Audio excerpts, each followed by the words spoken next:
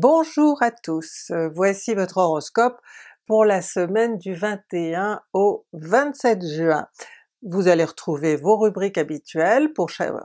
vos prévisions pour chaque décan, les deux jours top euh, à la fin de la vidéo, et donc euh, cette euh, vidéo précédent ou accompagnant l'été, à partir de la semaine prochaine nous allons vous proposer une nouvelle formule. C'est-à-dire que vous aurez une vidéo par semaine, Hein, pour tous les signes, une vidéo d'ambiance, de conseils, de, coaching, et puis euh, vous aurez 12 vidéos mensuelles, c'est-à-dire une vidéo pour chaque signe tous les mois. Euh, ensuite vous pouvez évidemment nous retrouver si vous voulez avoir plus de détails hein, sur votre thème ou si vous avez des questions à poser, vous allez sur Tipeee, ou alors vous pouvez aussi retrouver les petits posts de Zoé sur euh, Instagram pardon, et sur Twitter. Gémeaux et ascendant Gémeaux dans votre horoscope euh, de cette semaine. Pour le premier décan, nous avons l'arrivée du soleil en Cancer, votre signe voisin, donc euh, il vous a quitté comme tous les ans à la même date euh, à peu près, et il est rentré chez votre voisin du Cancer qui gère vos possessions, vos avoirs, votre argent, tout ce qui est à vous finalement, tout ce qui est votre propriété est géré par le Cancer. Et votre première propriété c'est quoi? votre corps. Hein. Donc souvent on peut avoir des petits problèmes euh, de forme, de santé, euh, en période de cancer, surtout que c'est un signe euh, hein, où il y a beaucoup de hauts et de bas, la forme sera pas toujours toujours au rendez-vous, mais peut-être que vous avez beaucoup travaillé aussi, hein, que là vous avez passé des examens ou que bon vous avez eu une période où où il y a eu beaucoup de boulot et que c'est normal que vous soyez un petit peu fatigué. Bon sinon, ce qui va vous occuper le plus euh, pendant la période cancer, euh, ça va être vos moyens financiers bien évidemment. Bah, alors peut-être parce que vous allez avoir envie de partir en vacances, euh, et qu'il vous faudra de l'argent pour ça, peut-être que vous avez quelque chose à acheter, souvent en période cancer, hein, le, le, Gémeaux a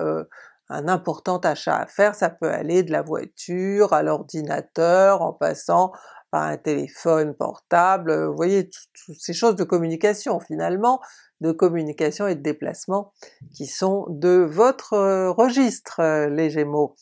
Euh, ensuite, bon, peut-être qu'il faudra aussi un petit peu surveiller votre alimentation, hein? il y a de la gourmandise souvent, quand le cancer euh, est comme ça en, vedette, surtout que il y a d'autres planètes dans ce signe, donc euh, et puis si vous voulez euh, vous sentir bien en maillot de bain sur la plage, c'est peut-être le bon moment pour faire un petit peu attention et perdre un, ou deux kilos hein, avant les vacances. Deuxième décan, alors pour vous le ciel est moins clément, euh, que euh, pour le, pour le premier décan. Euh, vous avez cette dissonance de Neptune dont je vous ai parlé toute l'année, et elle est actualisée cette semaine non seulement par Jupiter qui est en dissonance avec cette Neptune, mais aussi par Vénus qui est en dissonance avec les deux, hein, avec Neptune et avec Jupiter. Et Vénus, euh, elle est dans votre signe, elle est dans votre décan, elle va être donc euh, directement euh, impactée par cette conjoncture et d'une certaine manière vous aussi. Donc attention à tout ce qui va avec Neptune, c'est-à-dire trahison, dépendance, illusion, désillusion. Mais il faut aussi vous méfier d'une tendance à en faire des caisses, hein, en faire des tonnes. Jupiter et Neptune sont vraiment deux planètes, toutes les deux, qui, euh, comment dire, donnent euh, trop d'importance, euh, aux, événements, aux choses, on l'a vu hein, avec toutes les manifestations qu'il y a eu depuis le mois de novembre dernier, qui ont été extrêmement mises en avant par toutes les télévisions. Alors là je dis pas que vous allez passer à la télé, mais que peut-être vous allez vous faire un petit peu de cinéma avec cette conjoncture. Si jamais vous rencontrez quelqu'un, méfiez-vous, hein, parce que vous allez euh, vous aurez affaire à quelqu'un qui sera trop dans la séduction. Ce qui est important pendant cette, euh, cette semaine, c'est d'être le plus lucide euh, et parfois critique possible.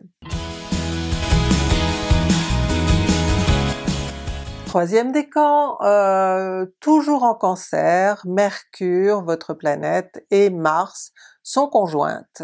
Alors on peut penser que vous allez avoir des discussions un petit peu difficiles à mener, parce que vous aurez affaire à un ou des interlocuteurs qui ne voudront pas euh, entendre raison, qui seront de mauvaise foi, qui vous entraîneront à, à discutailler, euh, alors que les choses pourraient se régler euh, plus rapidement. Il y a quand même Mars dans la, dans la conjonction, donc euh, il y a une notion de, de rapidité, normalement. Mais je vous dis, vous aurez affaire à des, des personnes qui peuvent être vraiment de mauvaise foi et qui peuvent essayer de vous manipuler. Euh, il ne faut pas faire preuve de faiblesse euh, sous cette conjoncture. Si vous, si vous sentez hein, que la personne euh, que vous avez en face de vous essaye de vous faire adopter son point de vue, ou de, en tout cas de vous faire penser différemment, essayez de rester sur des rails, de ne pas vous conformer automatiquement à ce que l'autre va vous dire. On, a tendance à repérer, on repère ça hein, chez les Gémeaux qui ont euh, tendance à suivre un petit peu le mouvement, à, être, euh, vous savez, on dit euh, que le Gémeaux est un caméléon, ben, c'est parce qu'il a tendance à se conformer un petit peu à la pensée générale ou à la à ceux qui sont autour de lui. Donc euh, là je vous engage à rester euh, sur euh, votre ligne à vous. De bonnes journées pour vous, enfin une, une, et demie, hein, vendredi et samedi matin, début d'après-midi, la Lune sera en Verseau, c'est le moment idéal pour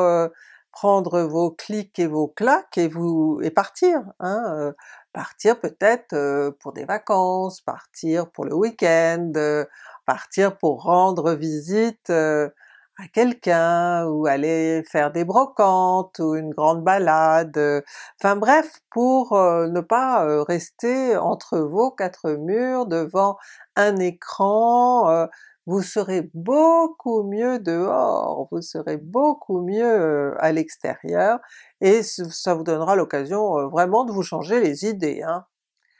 On se retrouve la semaine prochaine, euh, entre-temps si vous voulez encore plus de détails sur votre thème astral, vous allez sur astro-rtl.fr, vous appelez le 3210, ou alors vous allez sur le site du Figaro TV Magazine, et n'oubliez pas de vous abonner!